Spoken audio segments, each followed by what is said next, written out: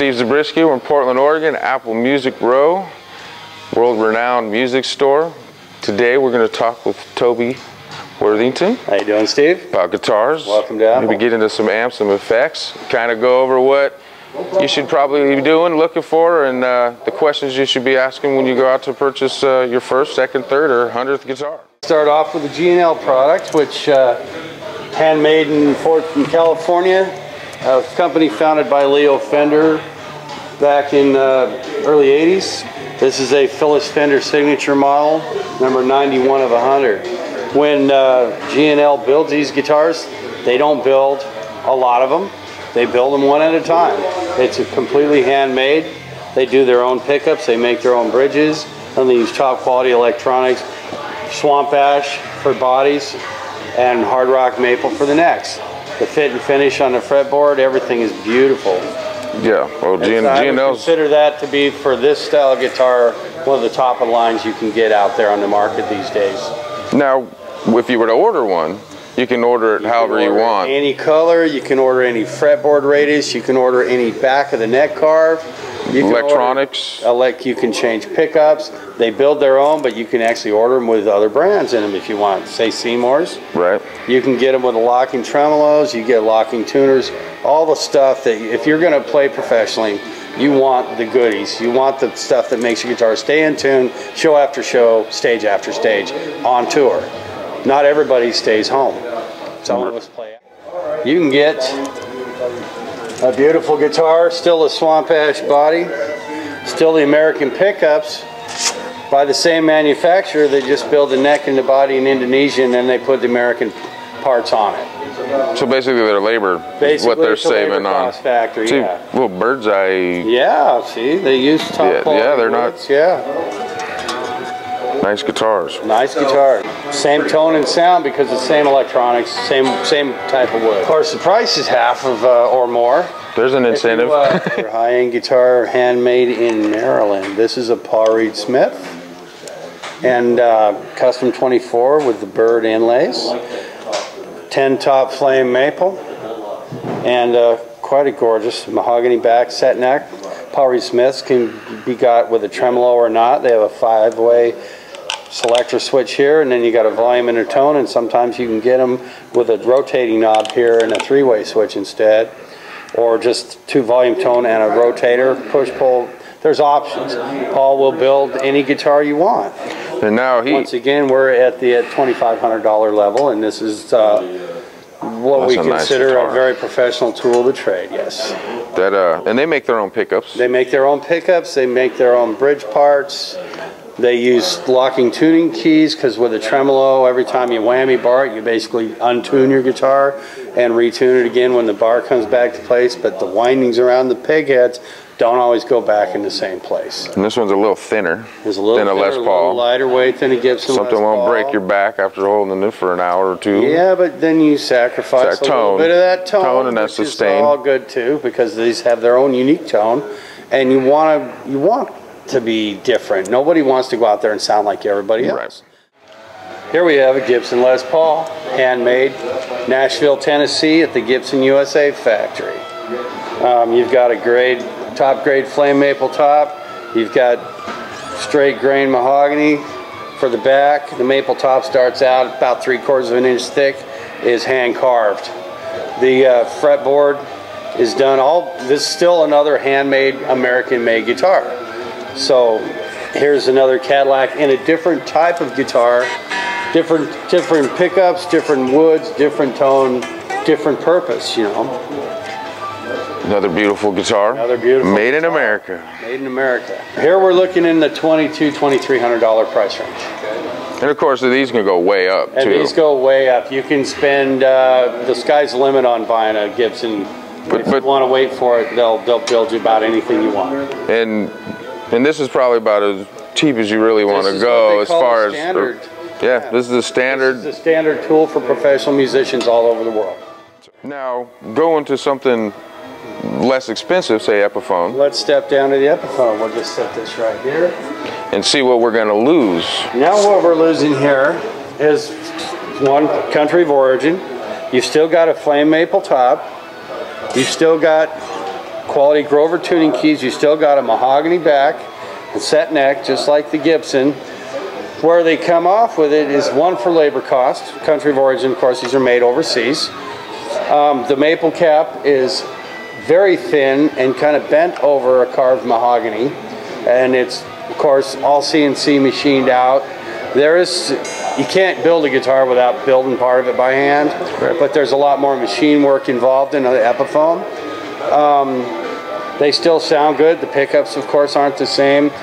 The hardware is not quite as good. The electronics is not quite, but it's still top quality. Still carries a lifetime warranty. So if you're an, an entry-level guitar player, you still want to get a, a professional tool. Epiphone is a good way to go. Now, what about upgrading these things? Kind of trying to get there. Still not the know, same wood, not the same maple Still cap. not the same, but We- if you want it to sound more like a, a Gibson or any other guitar, you can switch out the pickups. This one is around 550. And for quality wood, you want to look for good construction, of course, put together properly with the neck at the right angle of the body. You know, you want to look at quality parts. Um, you could have the fastest car in the world, and if you put bad tires on it or your brakes don't work, you're not going to get anywhere. right. You'll get somewhere, you just won't be able to succeed. Or if you don't know how to drive. So you got to learn how to drive. What would you do with someone, say, someone that came in that didn't play guitar, wants to play guitar, and wants to doesn't really know how they should have it set up? Well, the first thing I do, I'd say, let me see your hands. I look at their hands. I think, okay, he's gonna, he's got paws. He's gonna need a little bigger neck. Otherwise, he's gonna cramp trying to reach around it. Right. And then we look at, so we sit down, show them how to hold the guitar, and see where their mind frame is at for what they want to learn. And we just get started right there, showing them how to pick out a basic chord. Important thing, it's got to be fun. If it's not fun, what's the point?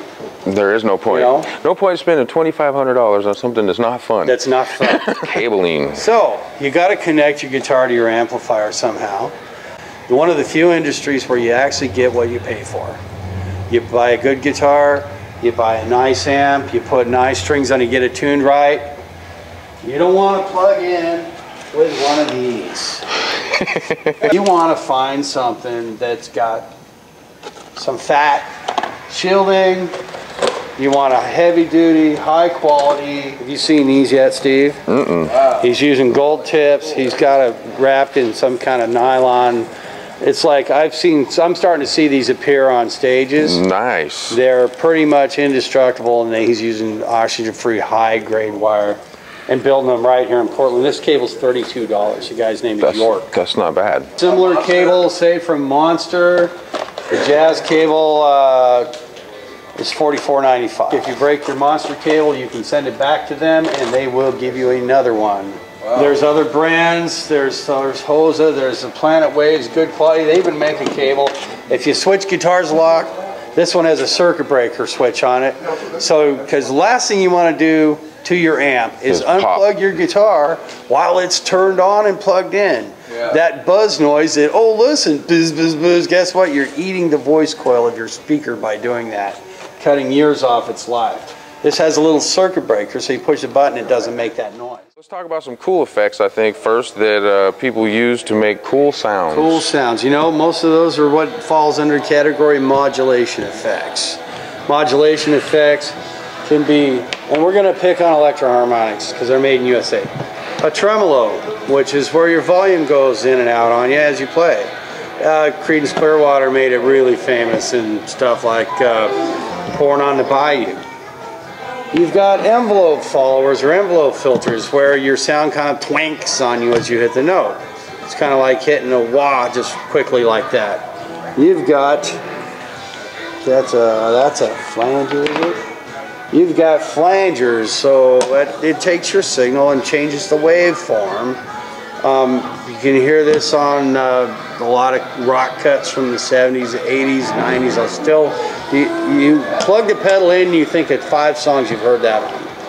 What you got to do is find what sounds best to you. Um, here's a phaser. Here's a good example of a phaser. This is a Pfeiffer pedal made in Tillamook, Oregon. We like to support local Nice. handmade, great pedal. Um, not really expensive. And honestly, if you're a Robin Trower fan, you can get really close with this pedal. And he used one of these. The Univibe. It's a totally different thing, and that pedal Comes does in real close to it. really Cool. I'll talk about some of the stuff on these as far as noise, as far as true bypass. Well, all the EH stuff is a true bypass. Most of these are all true bypass at this level. This is $139 for this little box. Well worth it. Um, made in USA is always a good thing, but the stuff made in China and Japan, like from Boss, Digitech, it's all great pedals. too. Ibanez. Ibanez, yeah. Who who hasn't heard of a tube screamer? Let's go to the next category. Overdrives and distortions. One of the most famous pedals of all time. But you've also got the way huge stuff, which is more of a boutique thing from uh, like the swollen pickle. Everybody needs a swollen pickle. Electro-Harmonix. The Big Muff, always a famous classic. And if you're a bass player, You got the- heavily recommend. Right there, the Big Muff Pi Well, they 2. make the Big Muff bass, but uh, you know, to be honest with I you, like the original. I like the original better personally myself.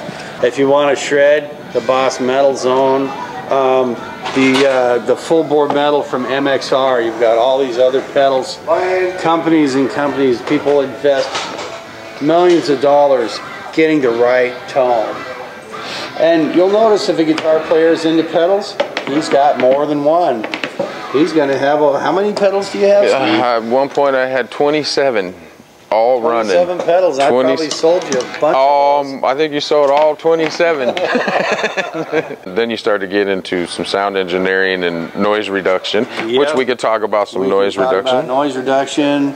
Um, I'm out of it right now, but the hum debugger from uh, Electro-Harmonix. The is decimeters. Awesome. And for a noise gate, the decimator from ISP is one of my favorites. Now, I'm using the uh, the Decimator Pro Rack G. Yep. And what I like, pedal. what I like about it it's is, not even a pedal. it's not- it's a just rack mount. It's already always set up well, and what's nice is I can run my pedal board through a th- into one side, and then the other one goes into my my my effects loop, and that way.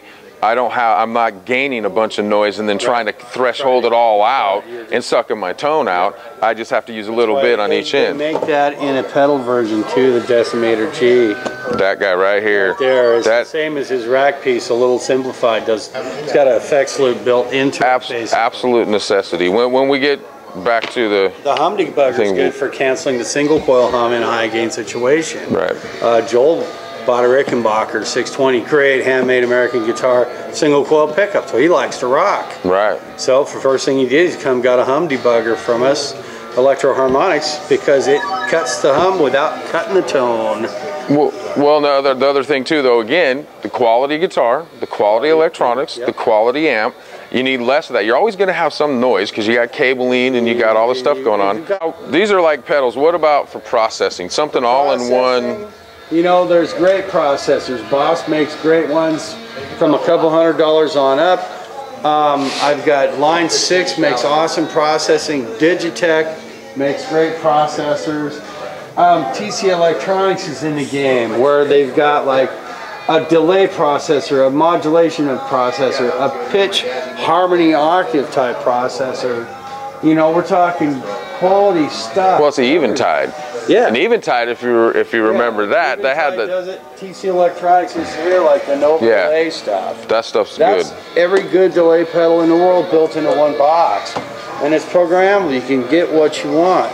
So y- your choices are limitless.